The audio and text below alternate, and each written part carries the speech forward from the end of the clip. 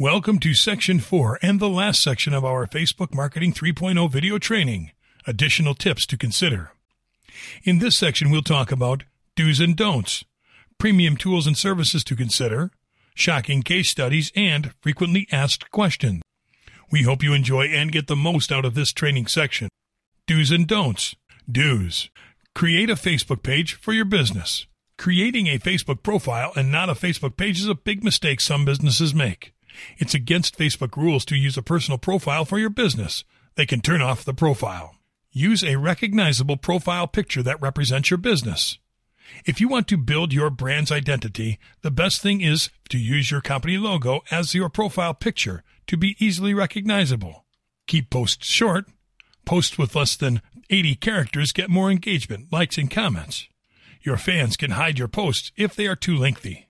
Be genuine. The articles you post should reflect your business, brand, and mission. Your potential customers will find your brand, and it will be a representation of what you intend to do. Ask questions and ask for feedback from fans and customers.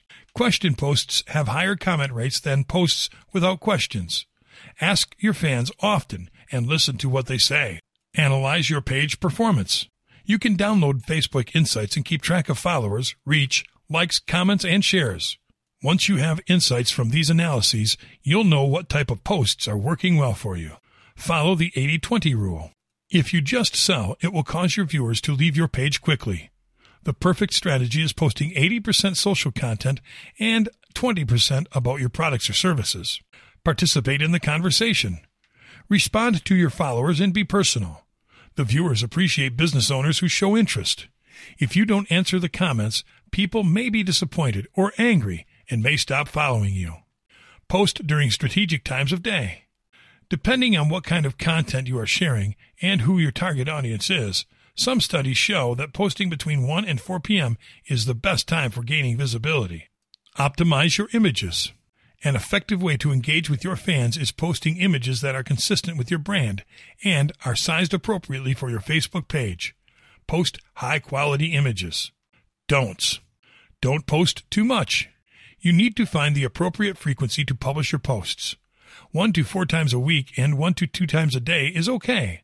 If you post too much, your viewers may feel overwhelmed and stop following you. Don't add people to private Facebook groups without their consent. If you add someone to a Facebook group without their consent, they will leave the group because they never asked to join, so they will not support your business.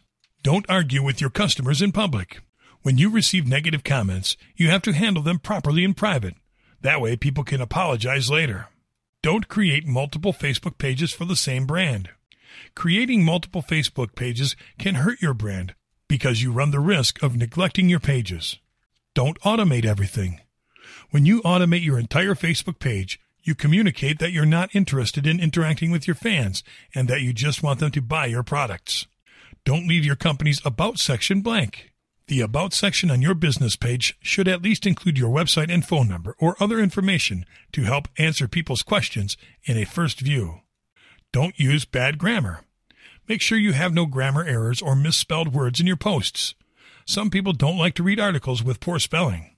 Don't ignore posts. You have to show people that you are willing to solve their problems. Don't be shy. This is a chance to speak directly with your customers. Take advantage of this and be extroverted to attract people. Don't post irrelevant content. Keep your posts clearly related to the interests of your target audience and keep them engaged.